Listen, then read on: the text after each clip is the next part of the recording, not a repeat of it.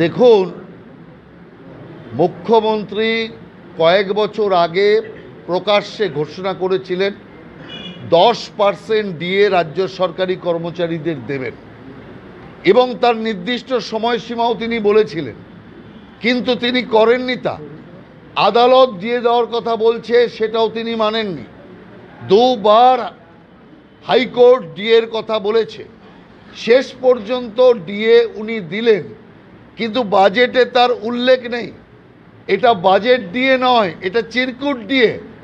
চিরকুটে তিন পার্সেন্ট লেখে তিনি ভিক্ষে দিলেন রাজ্য সরকারি কর্মচারীদের, যেখানে উনচল্লিশ পার্সেন্ট দিয়ে বাকি, সেখানে তিন পার্সেন্ট দিয়ে দেওয়া মানে তাদেরকে অপমান করা, ভিক্ষে দেওয়া। মুখ্যমন্ত্রী রাজ্য সরকারি কর্মচারীদের ডিএর নামে অপমান করেছেন।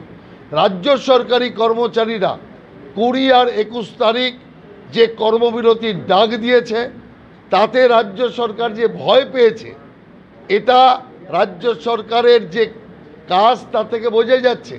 দমনমূলক নীতি নিচ্ছে রাজ্য সরকার। সেই রাজ্য সরকারি কর্মচারীদের যে আন্দোলন তাকে আটকানোর জন্য বেতন কাটা শোকস করা নানা রকম ফর্মুলা আনতে শুরু করেছে। আমি মনে করি, রাজ্য সরকারের এই ভয়, রাজ্য সরকারের এই দমন নীতি মানে প্রাথমিকভাবে ডিএর আন্দোলনকারীদের জয় বলে আমি মনে করি।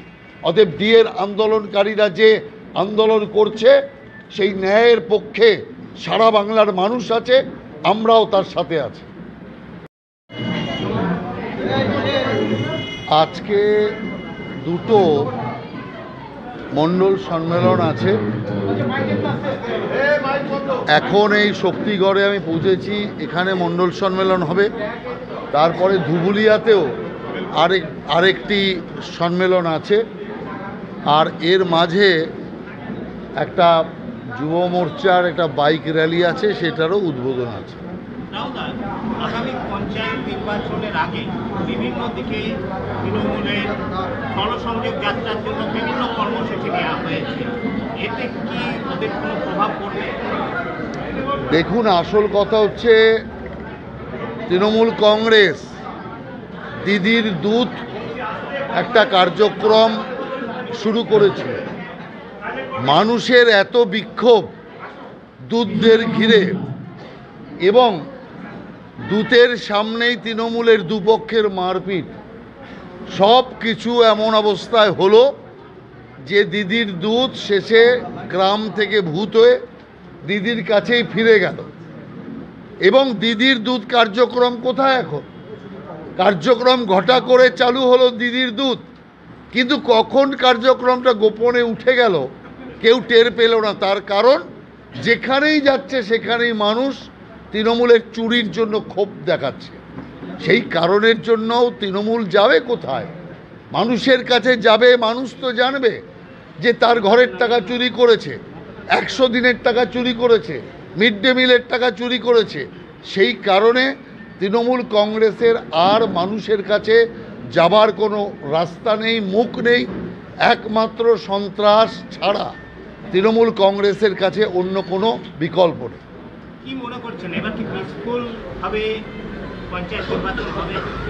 দেখুন, রাজ্য নির্বাচন কমিশন দিয়ে পঞ্চায়েত ইলেকশন হবে। অতএব স্বাভাবিকভাবেই রাজ্য নির্বাচন কমিশন মানে তৃণমূল কমিশন। তৃণমূল কমিশনের নির্বাচন কেমন হবে সেটা তৃণমূল কংগ্রেস বলতে পারে। তবে আমি মমতা ব্যানার্জির কাছে চ্যালেঞ্জ রাখব। যদি আপনার সাহস থাকে তাহলে নির্বাচন অবাধ শান্তিপূর্ণ করে দেখান। আঠেরো সালে পঞ্চায়েত লুট করেছিলেন। তারপরে মানুষ শিক্ষা দিয়েছে, বহু কান্নাকাটি করেছেন মানুষের কাছে। তো এবার অন্তত মানুষের ভোটাধিকার প্রয়োগ করবার সুযোগ দিন, অবাধ নির্বাচন হোক। দেখুন কোথাকার জল কোথায় গিয়ে দাঁড়ায়। মুখ্যমন্ত্রী যে বক্তব্য রেখেছিলেন সেখানে মতুয়াদের সম্পর্কে? সেই বক্তব্যকে হাতিয়ার করে আপনারা